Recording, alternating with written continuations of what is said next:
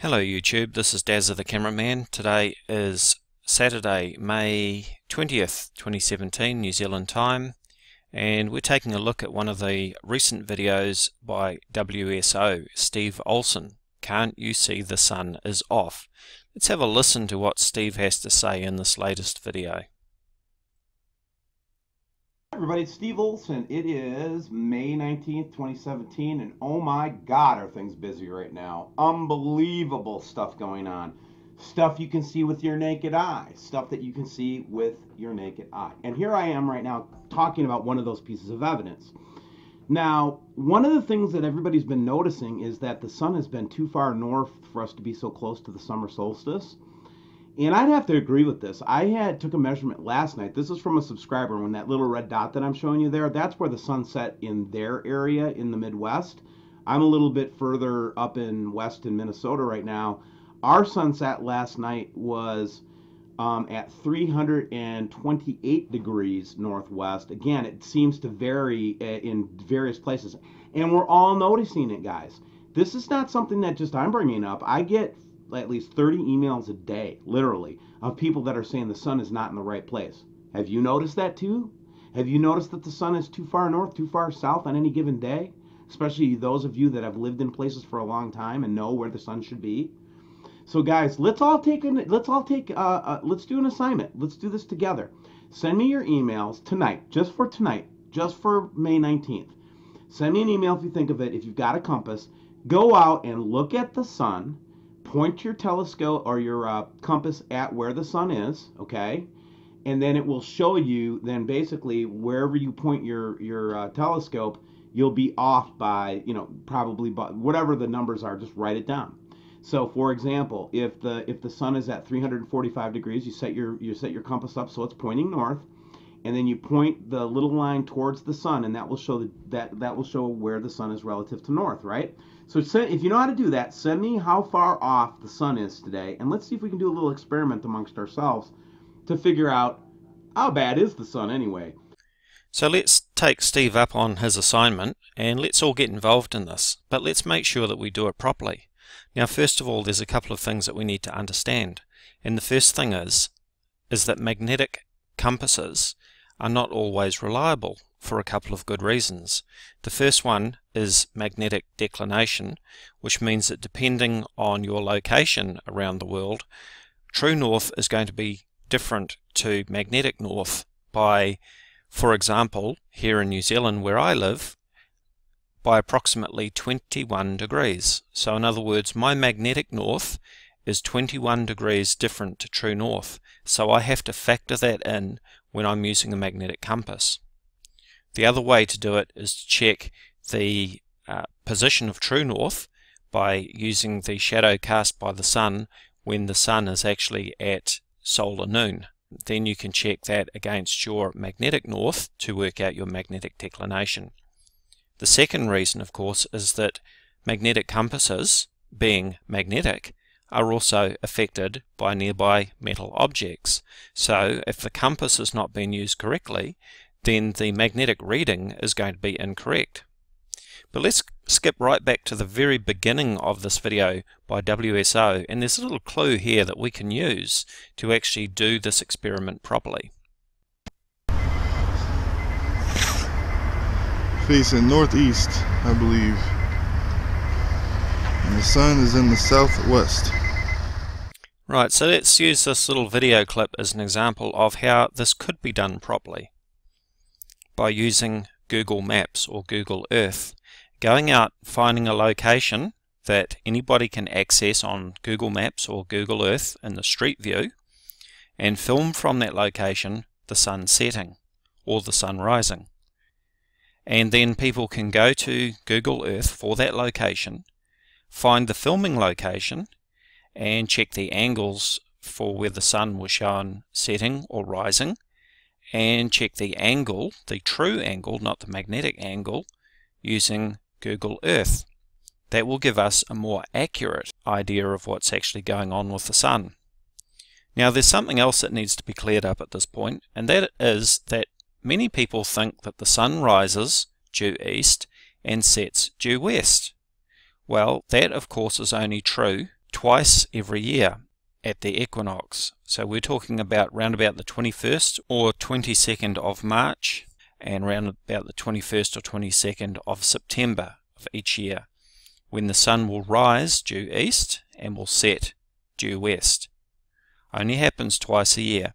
And in between those times, the position of the sun on the horizon drifts along the horizon because of the seasons. So at midsummer, you've got the, the summer solstice, and uh, midwinter, you've got the winter solstice. And the sun is going to be to the extreme point to the north along the horizon, or to the extreme point along the south to the horizon, depending which season you're in. Now here we are looking at suncalc.org and I've set the location to Minnesota. The date is 20th of May, which you can see here on the left hand side. And I've clicked on the sunset time, which is 2052. And this shows the position of the sun. I can use this slider here as well to uh, change the, the time. So here is sunrise at 5.40 a.m and we've got solar noon which is that point there which is at uh, 1316 or 1.16 p.m. That's the time when you'd want to check the shadow cast by the midday sun if you were going to calibrate your magnetic compass against true north. Check the shadow cast by a vertical wall, something like that, something that's not at an angle but uh, perpendicular to the ground. Uh, check the shadow against what you see with your magnetic compass for magnetic north and then of course as we go through to sunset which is at 2052 or I can just click on the time there and it'll snap into place. So that tells me that the azimuth or the position of the sun on the horizon will be at almost 301 degrees. Now that's true reading not magnetic reading. Now I did check the magnetic declination for uh, Minnesota because Steve Olson says that he's in Minnesota. And according to this, the magnetic declination is less than one degree. So there's not a, a, a big problem there. But if, if Steve is going to do this properly, then he needs to do it properly. Okay. And as I say, the best way to actually do this is to um, film from a location that is easy for everybody to access through Google Earth or Google maps and uh, we can check the position of the setting sun on the horizon using visible landmarks in Google Earth, Google Maps. And you may remember that uh, we did this um, over a year ago as part of my Flat Earth Equinox Challenge where we had nine different people went out and they filmed the either the sunrise or the sunset from a location that was easy verifiable uh, in Google Earth or Google Maps and uh, we confirmed that the sun was actually rising due east and setting due west uh, on the equinox. Now let's just carry on with Steve's video and we'll look at a couple of other things that he brings up in the video. Here's some photographs that we took today, some imagery that we took from the All Skycam network. And what you're going to see here is this is the kind of manifestation that we saw um, maybe a year ago in the southern hemispheres. Now we're seeing it in every northern hemisphere too. This big, red, ugly looking refraction. And I think it's a reflection off the sky, is what I think it is, because it doesn't show up on the. But anyway, point being is it's reflecting something up there. Now, look at it, rotates. You can actually see it rotating. Now, you cannot tell me that that's any kind of, uh, of an anomaly other than it's a reflection or a refraction of an object that's up there. Really, Steve? Well, you know, this is the same tired stuff that we've been hearing from you for, um, what, nearly two years now, is it? Let's have a look. Here is the WSO channel, and uh, let's go to the oldest videos on the WSO channel, and I've looked at this before in some of my previous videos. This is the uh, earliest video, the oldest video on Steve Olson's channel that's, that's available to look at now. Let's have a look at this and see what date it was uploaded. This was uploaded on December 15, 2015. Weird planet in southern hemisphere. Don't look away. Holy Lord, he says. And what do we see? Let's have a listen to this video. My wife and I have been watching the skies through the various all sky cams for the last couple of days. If you look at my yesterday's video, when I first started picking up this activity, I thought it was for sure uh, going to be a lens flare or some other anomaly. But uh, instead, what we find is a planet floating under the Earth. Um, this is via Savannah Skies, Austria, Australia rather. The next cam, it's uh, just starting to come into the into the picture, but in a different light because it's in a different location of Australia. And you can go look up these locations, but again, it's visible um, both in the horizontal and the kind of vertical view. So we see the same old thing that we were being presented with back in December 15, 2015, and of course on other YouTube channels we've seen the same all-sky cameras that go back years and years, and we see the same thing day after day, week after week, month after month, and year after year. And of course there's an important point that I've pointed out before and I'll point it out again as we look at this video. I'll just mute this as I talk. Watch the motion of the supposed object as it crosses the sky. You've got the sun going in one direction from left to right and you've got this this pink object, um, planet, anomaly, reflection, whatever you want to call it, going in the opposite direction. Well, that presents a problem to start with because the only reason that the sun appears to be traveling from left to right across the sky or from east to west is because the earth is rotating on its axis from west to east at 15 degrees per hour. Of course, the Earth makes one rotation every 24 hours.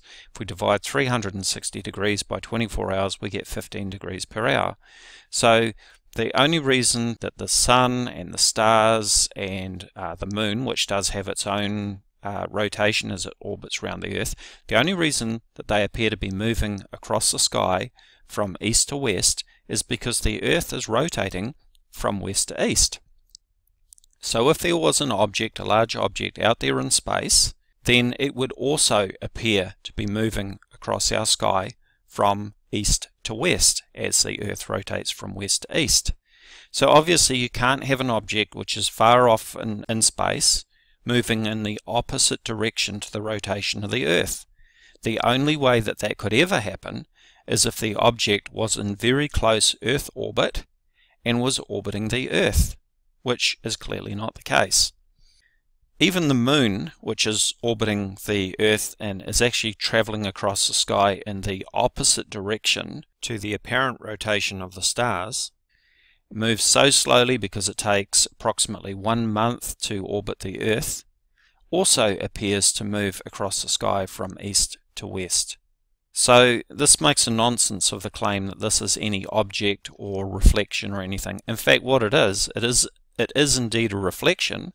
It's a reflection of the sun within the lens system, within the uh, within the camera housing or the lenses. It is a lens flare. And in fact, we have seen this uh, object. If, if I spent more time on this, I could show you uh, the lens flare actually inside the camera housing, like down here or even on top of the dome here, which proves that it's not even an object in sky. Steve Olson knows this, but he continues to trot out this nonsense. Now, he was in a hangout yesterday, and uh, he was making sounds about, you know, fronting up for a hangout and all that sort of thing. This was on another channel, and I said, "Yeah, you won't, you won't front up to a hangout with me, will you, Steve Olson?" And uh, although he talked about love and being polite, all he could do was criticize the, the screeching sound of my voice, as he put it he says he can't tolerate the sound of my voice. Well, I know the real reason that you won't front up to me, Steve, is because you know that your claims, such as these ones, will not stand up to scrutiny. Now, I've always said that I will meet anybody halfway who is prepared to meet me halfway, and I will always treat guests with respect uh, on my hangouts if they are prepared to meet me halfway to discuss their claims. I did that with Scott Cone on the original hangout that I held with him last year along with Astronomy Live. I treated him with respect, and he left the hangout saying, "Thank you. You treated me like a gentleman." And uh, you know, I I still commit to treat anybody who will meet me halfway with respect. So, Steve Olson, I challenge you to meet me and hang out. Come along, let's discuss your claims, and let's try and get to the truth of, of what you're saying on these things. So, just going back to the this challenge about the the sun setting in the wrong place, according to Steve Olson. Let's do your observations, film them from locations where we can confirm that using uh, Street View or Google Earth and and let's see what the what the video actually shows us. This is Dazza the cameraman. Thank you for watching.